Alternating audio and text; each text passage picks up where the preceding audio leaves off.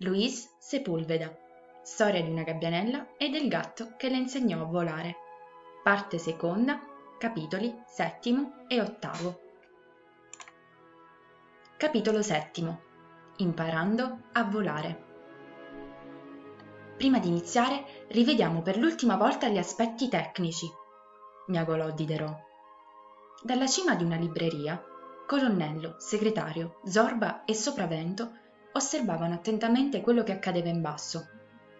Giù c'erano Fortunata, in piedi in fondo a un corridoio, che avevano denominato pista di decollo, e Diderot, chino dall'altro capo del corridoio, sul dodicesimo volume, corrispondente alla lettera L dell'enciclopedia.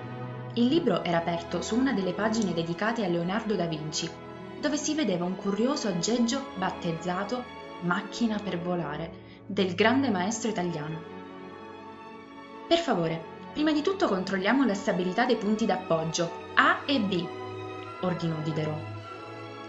Prova punti d'appoggio A e B, ripeté Fortunata, saltando prima sulla zampa sinistra e poi sulla destra.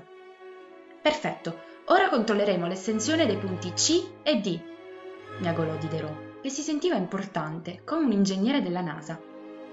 Prova estensione punti C e D, obbedì Fortunata, spiegando entrambe le ali. Perfetto, ripetiamo tutto da capo, ordinò Diderot. Per i baffi del rombo, falla volare una buona volta, esclamò Sopravento. Le ricordo che sono il responsabile tecnico di volo, ribatté Diderot. Tutto deve essere adeguatamente controllato, altrimenti le conseguenze potrebbero essere terribili per Fortunata, terribili. Ha ragione, lui sa quello che fa, commentò segretario. È esattamente ciò che stavo per miagolare, brontolò colonnello. La finirà mai di togliermi i miagoli di bocca? Fortunata era lì, in procinto di tentare il suo primo volo, perché durante l'ultima settimana si erano verificati due episodi grazie ai quali i gatti avevano capito che la gabbiana voleva volare, anche se nascondeva molto bene il suo desiderio. Il primo fatto era avvenuto un pomeriggio, in cui Fortunata aveva accompagnato i gatti a prendere il sole sul tetto del bazar di Harry. Dopo un'ora che erano lì, a crogiolarsi ai raggi del sole, avevano visto volare in alto, molto in alto, sopra di loro, tre gabbiani. Spiccavano belli e maestosi nel cielo blu. A tratti sembravano paralizzarsi, limitandosi a fluttuare nell'aria con le ali tese, ma bastava un lieve movimento perché si spostassero con una grazia e un'eleganza che facevano invidia e anche voglia di starsene lassù con loro.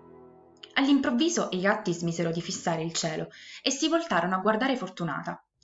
La gabbianella osservava il volo dei suoi simili e senza rendersene conto spiegava le ali. Guardate, vuol volare! commentò Colonnello. Sì, è ora che voli, riconobbe Zorba. Ormai è una gabbiana grande e forte. Fortunata, vola, prova, suggerì il segretario. Quando sentì i miagolì dei suoi amici, Fortunata ripiegò le ali e si avvicinò a loro. Si sdraiò accanto a Zorba e iniziò a far risuonare il becco imitando le fusa. Il secondo episodio era accaduto il giorno successivo, mentre i gatti ascoltavano una storia di sopravvento. E come vi miagolavo, le onde erano così alte che non potevano vedere la costa. E per il grasso del Capidoglio, colmo delle disgrazie, la nostra bussola era impazzita.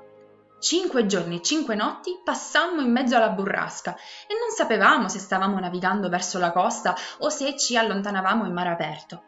Ma proprio allora, quando ci sentivamo ormai perduti, il timoniere avvistò uno stormo di gabbiani. Che gioia, compagni! Puntammo la prua nella stessa direzione in cui volavano e riuscimmo a raggiungere la terraferma. Per i denti del barracuda! Quei gabbiani ci salvarono la vita. Se non li avessimo visti, ora non sarei qui a miagolarvi la storia. Fortunata, che seguiva sempre con molta attenzione i racconti del gatto di mare, lo ascoltava con gli occhi spalancati. I gabbiani volano anche nei giorni di burrasca? chiese. Per le scariche della torpedine, i gabbiani sono i volatili più robusti dell'universo assicurò Sopravento. Non c'è uccello che sappia volare meglio di un gabbiano. I miagolii del gatto scendevano nel profondo del cuore a Fortunata. Batteva le zampe per terra e muoveva nervosamente il becco. Vuoi volare, signorina? indagò Zorba. Fortunata li guardò a uno a uno prima di rispondere. Sì, per favore, insegnatemi a volare. I gatti miagolarono la loro gioia e subito misero zampa al lavoro. Attendevano quel momento da molto tempo.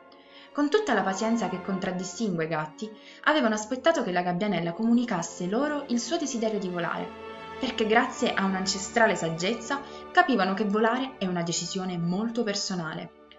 E il più felice di tutti era Diderot, che ormai aveva trovato i fondamenti del volo nel dodicesimo volume, lettera L, dell'enciclopedia, e che perciò si era assunto l'incarico di dirigere le operazioni. Pronta al decollo? miagolò Diderot. Pronta al decollo! annunciò Fortunata.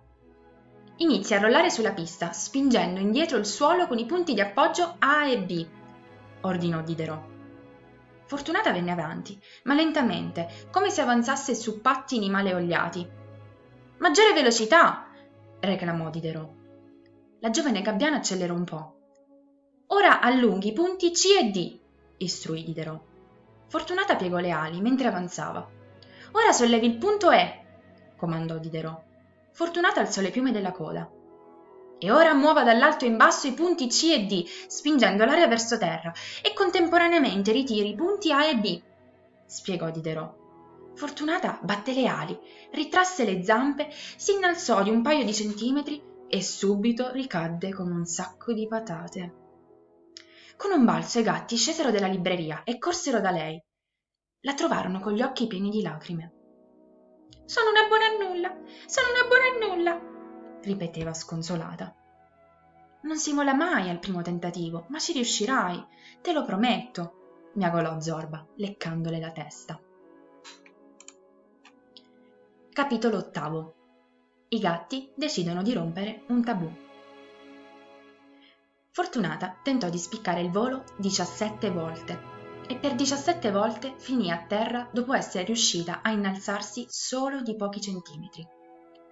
Diderot, più magro del solito, si era strappato i baffi a uno a uno dopo i primi dodici fallimenti e con tremanti miagolii cercava di scusarsi. Non capisco. Ho esaminato la teoria del volo con grande cura, ho messo a confronto le istruzioni di Leonardo con tutto quello che è riportato nella parte dedicata all'aerodinamica, volume primo, lettera A dell'enciclopedia. Eppure non ci siamo riusciti. È terribile, terribile. I gatti accettavano le sue spiegazioni e tutta la loro attenzione si concentrava su Fortunata, che a ogni tentativo fallito diventava sempre più triste e malinconica. Dopo l'ultimo insuccesso, Colonnello decise di sospendere gli esperimenti, perché la sua esperienza diceva che la gabbianella iniziava a perdere fiducia in se stessa e questo era molto pericoloso se davvero voleva volare. Forse non può farcela, dichiarò il segretario. Forse ha vissuto troppo tempo con noi, ha perso la capacità di volare. Se si seguono le istruzioni tecniche e si rispettano le leggi dell'aerodinamica, volare è possibile. Non dimenticate che è tutto scritto nell'enciclopedia, ribatté Diderot. Per la coda della razza, esclamò Sopravento. È una gabbiana e i gabbiani volano. Deve volare. L'ho promesso a sua madre e a lei. Deve volare, ripeté Zorba. E la tua promessa impegna anche tutti noi, ricordò Colonnello. Riconosciamo che non siamo capaci di insegnarle a volare e che dobbiamo chiedere aiuto fuori dal mondo dei gatti, suggerì Zorba. Miagola chiaro, caro guaglione. Dove vuoi arrivare? domandò serio Colonnello. Chiedo di essere autorizzato a infrangere il tabù per la prima e ultima volta in vita mia, dichiarò Zorba, guardando negli occhi i suoi compagni. Infrangere il tabù, miagolarono i gatti, tirando fuori gli artigli e rizzando i peli sul dorso. Miagolare l'idioma degli umani è tabù. Così recitava la legge dei gatti, e non perché loro non avessero interesse a comunicare. Il grosso rischio era nella risposta che avrebbero dato gli umani. Cosa avrebbero fatto con un gatto parlante? Sicuramente lo avrebbero rinchiuso in una gabbia per sottoporlo a ogni genere di stupidi esami, perché in genere gli umani sono incapaci di accettare che un essere diverso da loro li capisca e cerchi di farsi capire. I gatti sapevano, per esempio, della triste sorte dei delfini, che si erano comportati in modo intelligente con gli umani e così erano stati condannati a fare i pagliacci negli spettacoli acquatici. E sapevano anche delle umiliazioni a cui gli umani sottopongono qualsiasi animale che si mostri intelligente e ricettivo con loro. Per esempio i leoni, i grandi felini, obbligati a vivere dietro le sbarre e a vedersi infilare fra le fauci la testa di un cretino, o i pappagalli chiusi in gabbia a ripetere sciocchezze. Perciò miagolare nel linguaggio degli umani era un grandissimo rischio per i gatti. Tu rimani con Fortunata, noi ci ritiriamo a discutere la tua richiesta, ordinò Colonnello. Durò ore e ore la riunione dei gatti, ore e ore durante le quali Zorba rimase sdraiato accanto alla gabbianella, che non nascondeva la sua tristezza per non saper volare. Era ormai notte quando terminarono. Zorba si avvicinò per conoscere la decisione.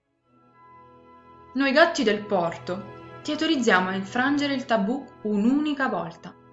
Miagolerai con un solo umano, ma prima decideremo tutti insieme con quale dichiarò solennemente Colonnello.